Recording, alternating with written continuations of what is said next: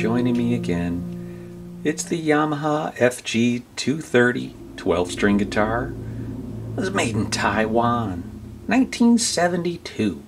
Serial number 211084421.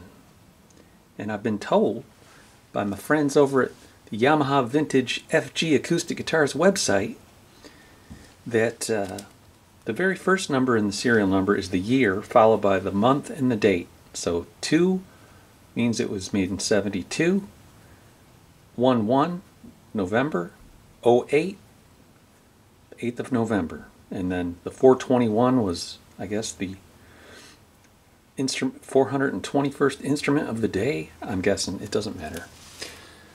So neck resets on these things are pretty much urban legend says that you can't do it although some of us have done it.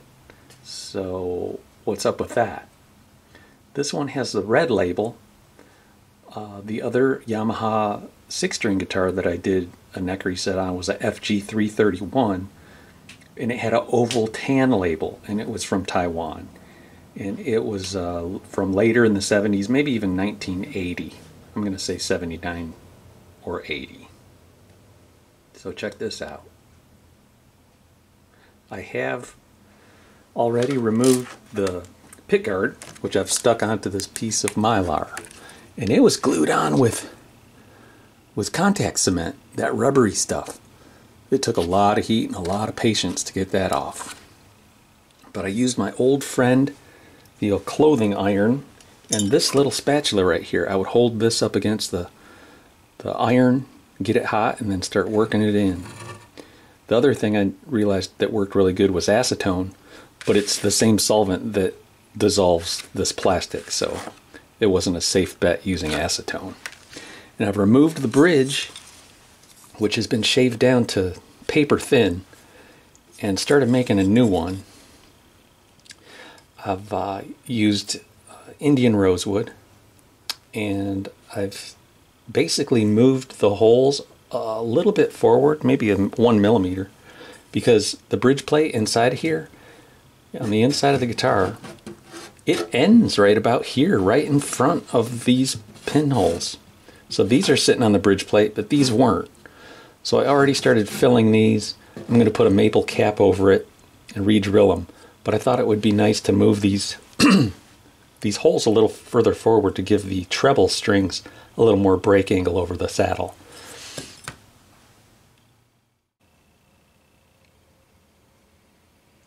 That there's about the only evidence you need to know that it's made in Taiwan. The Vintage Yamaha website has a story about this exact model.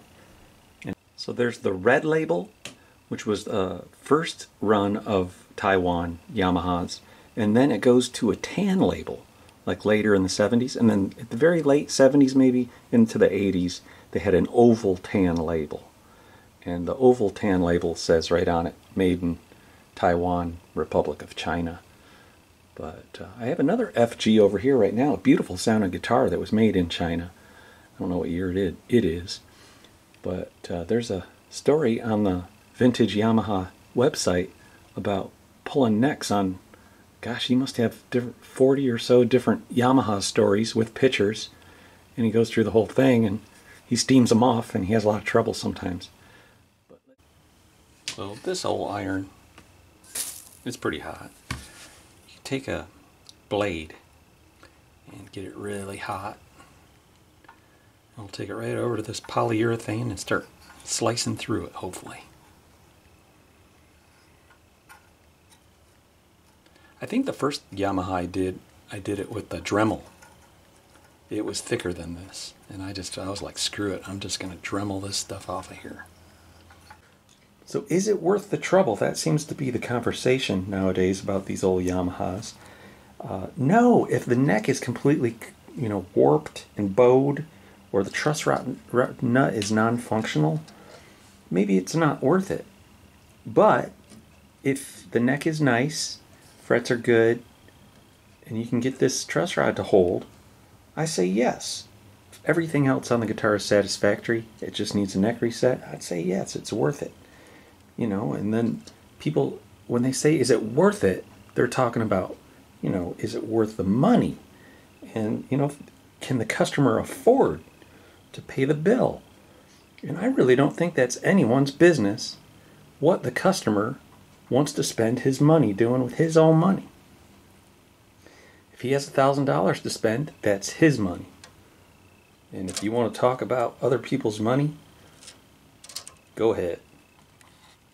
So this one had this nut on it, and it really was. Once it goes down in there against the washer, the washer's back here somewhere. You had there was nothing left to grab onto with the Allen wrench. So what I did, it's a regular 5 16 truss rod wrench. Um, what I did was I bored out a little bit of that material, and I used the truss rod rescue.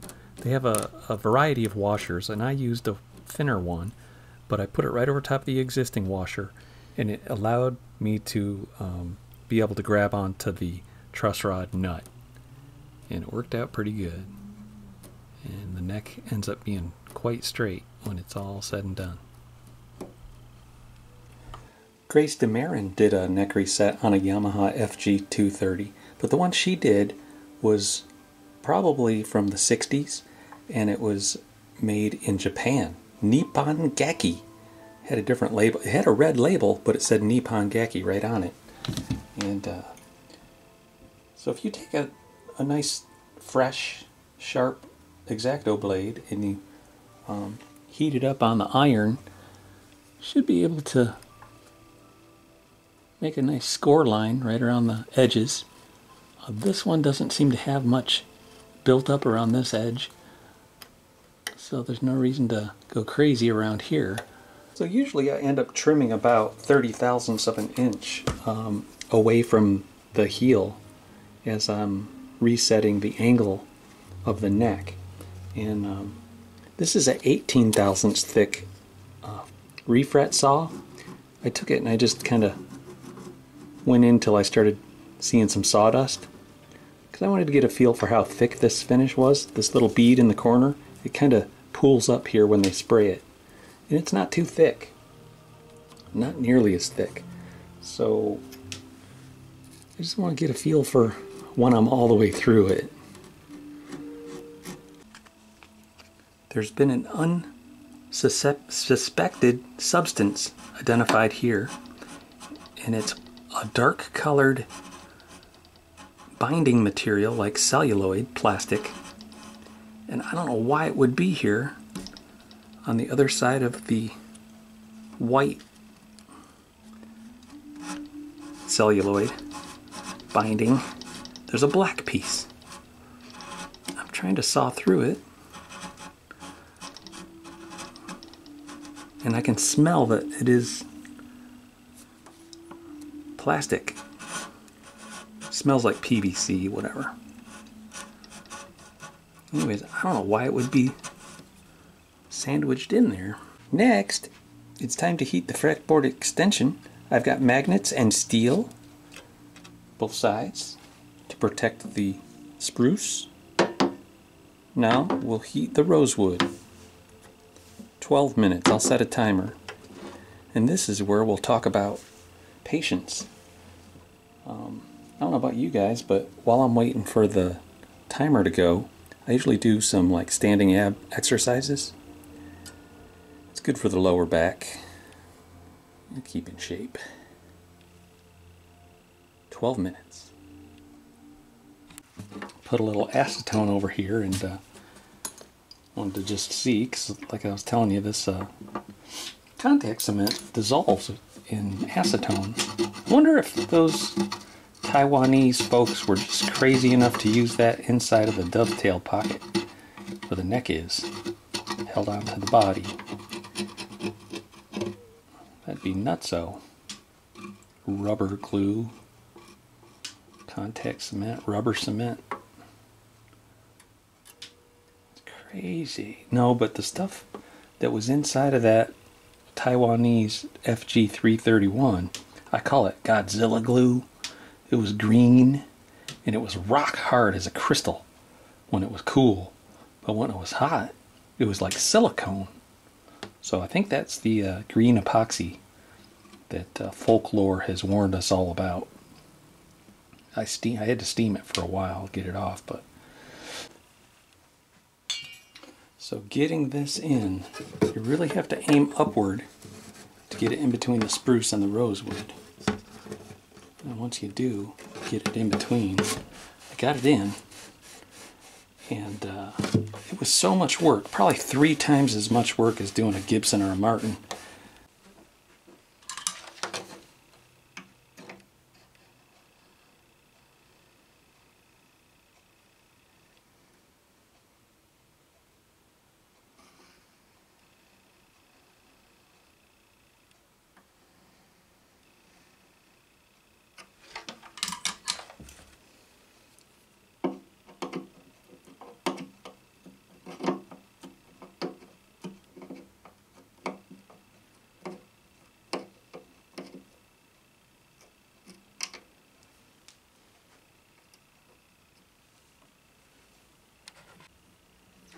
So this is mylar. This is the shape of the dovetail, supposedly.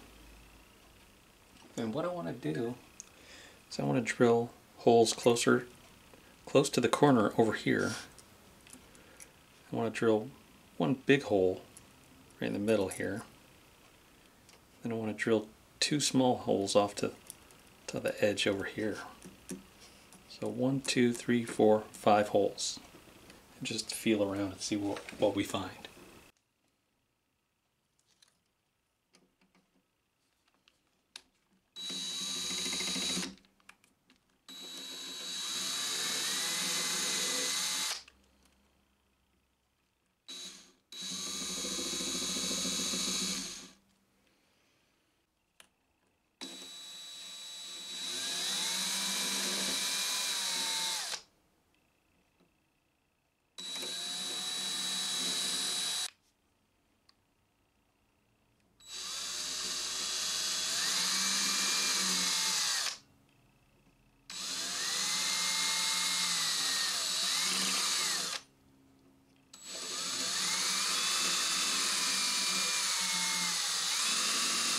Think I found a nice big pocket bit down over here. So we can, I think I'm drilling into solid wood there. This, this hits the pocket. There's definitely a pocket back here, which is nice. But over here, I'm just drilling into wood over here.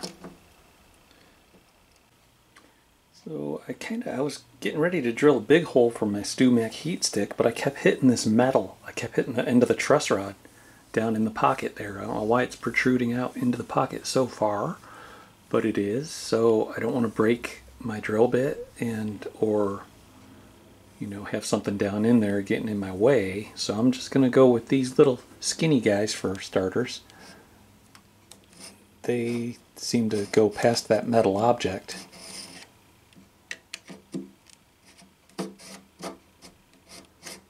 you could really hear it when the drill was spinning. You could hear it go click, click, click, click, click, click, click.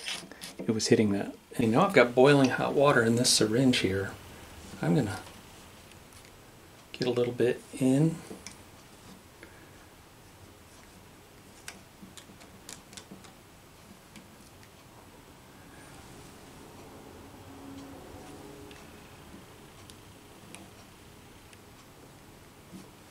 Should have a towel anyways,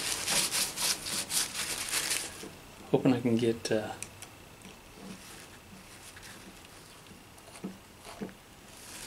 get this water to seep down into this dovetail.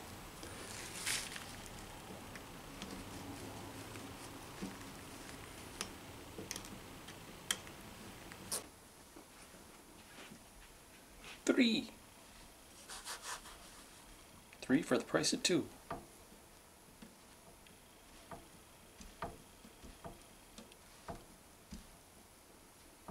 I don't know what all this stress stuff is going on over here. I haven't even pulled out or tugged on it yet. But it's already looking like it's coming loose. Up at the top anyhow. Which is excellent. A couple more minutes and I'll uh, put it in the neck removal jig.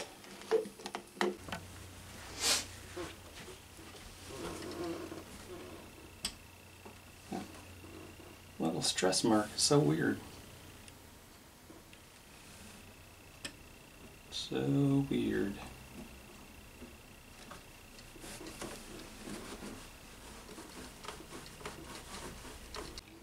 Little update here. I couldn't get it off the first attempt. So now I'm dr drilling another hole a little bit closer in. And I'm finding out that closer in this way, towards center, that this is all glue right here. In between the cheeks and the body, there is glue. So I'm going to keep drilling this out so I can get my heat probe in here. And uh, this might just be the moment that it releases. See a little crack or a little opening under the fingerboard extension.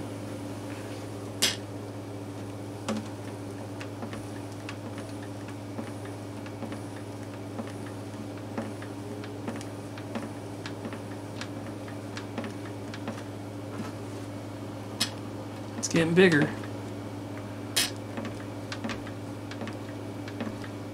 But it's not easy.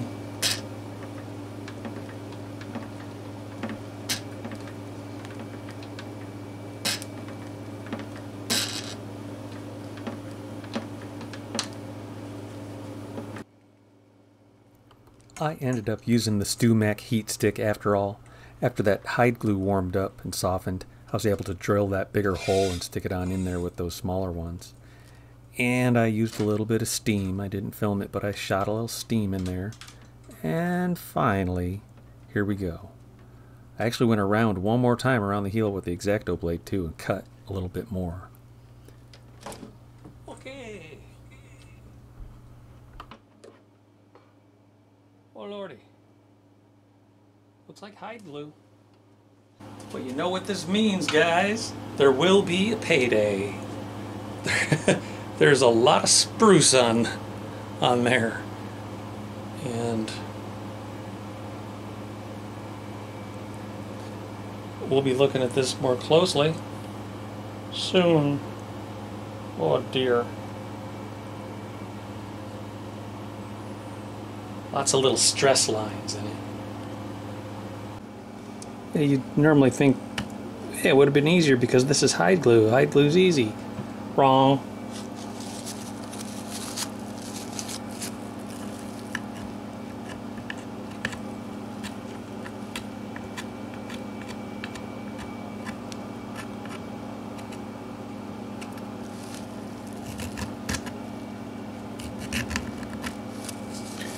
I guess it's easy if they don't use too much hide glue, but they use a lot. And it's killing me. But I think everything's going to be okay.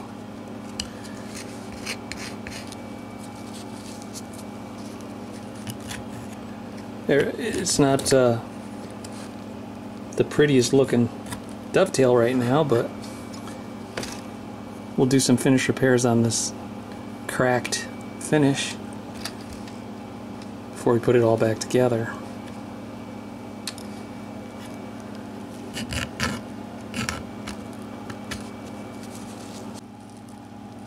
I don't know, maybe this isn't hide glue.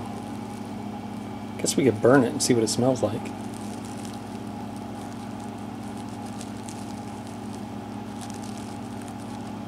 Okay, I'm burning it.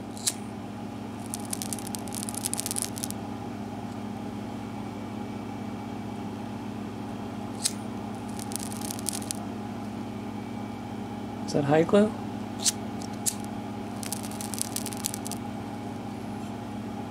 Kind of smells like hair or bone burning.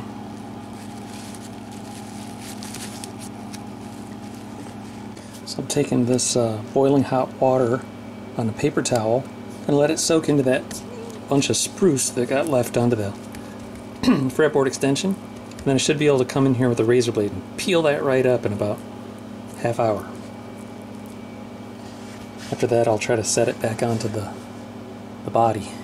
Get my seam separator and my hair dryer out and warm this up as I went around to uh, separate this piece. And thankfully, it came off in one piece. I'm going to stick that back down onto the onto the top. Clean this up, throw this out.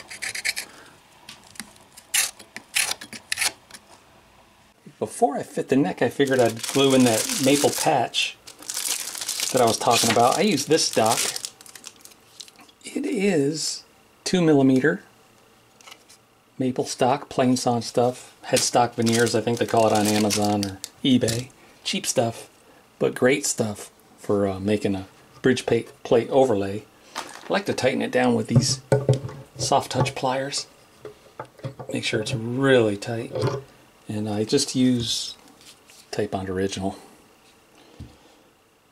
I bloodied myself. I was in there sanding that, and there's that jagged edges from the uh, maple fiber and CA glue that I did the back set of pins.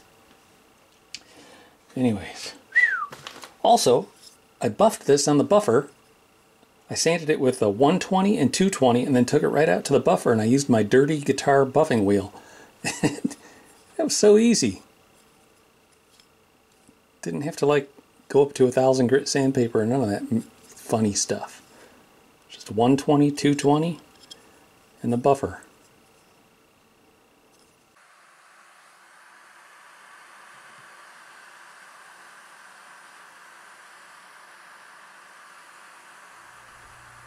I'm using an eighth inch upcut bit in my Dremel and the StewMac saddle slot routing jig.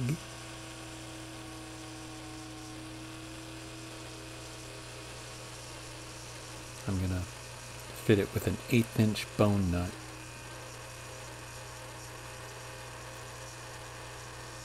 Get the vacuum in here.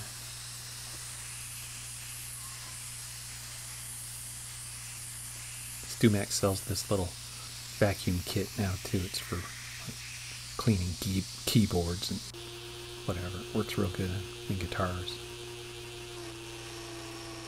Clean up the bottom of this slot. And we'll be making a bridge. I'm making a saddle.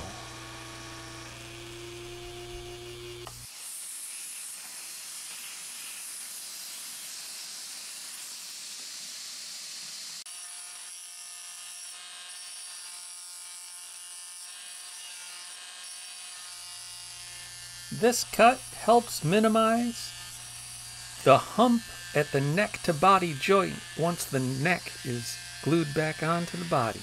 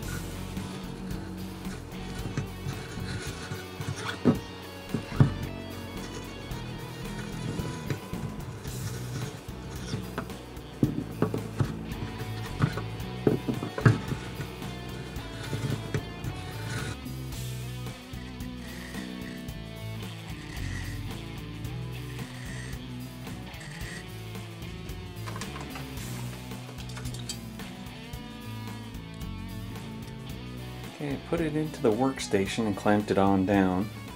Make sure that uh, the string spacing looks good.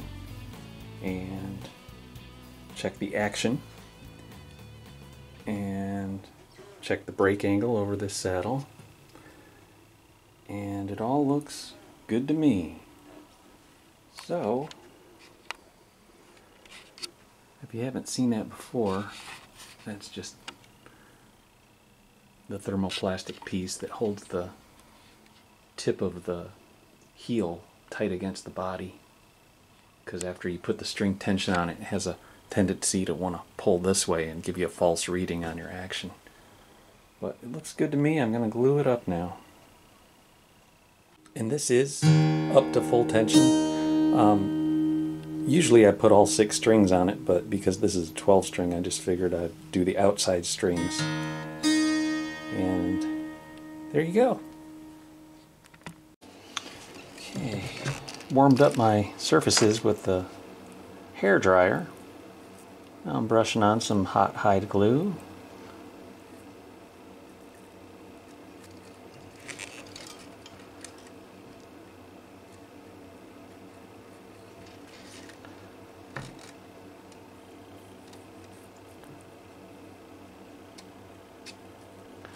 I'll do the same thing over by the body.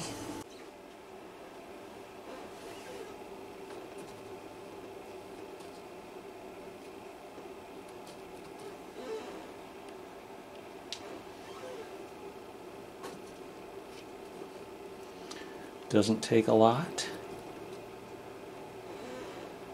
I'm not going to glue the fingerboard extension down all the way. I'm just going to put a little bit right here because I might want to put in a spacer.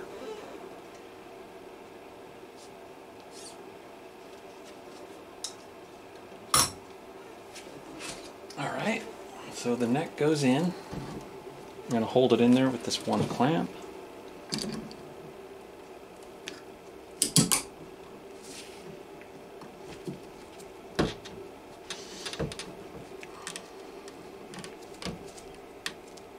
And I've got my thermoplastic. Can you see it here? I got this little call. It's going to be pushed right up against there.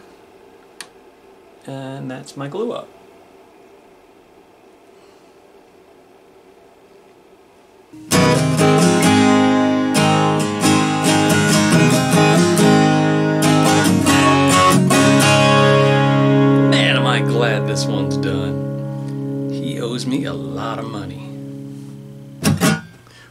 I'm glad because I had to order these strings. He used these heavy damn gauge strings, 12 through 54. Heavy bottoms, jeez. I'm glad this is a Yamaha because there's not a lot of guitars this old that can handle that heavy of a string. But these guitars are built like a tank. So finally, I got it. He tunes it to DADGAD too, which is good because that's kind of like tuning it to, to E flat, which is where I'm at now. I figured on the way to DADGAD, I'd stop at E flat and play a couple Zeppelin tunes.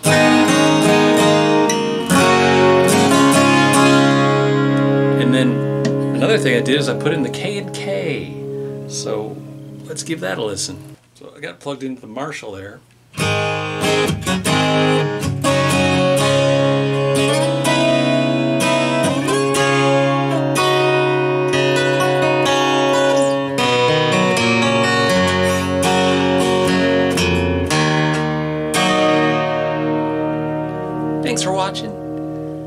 Appreciate you subscribing and hanging around.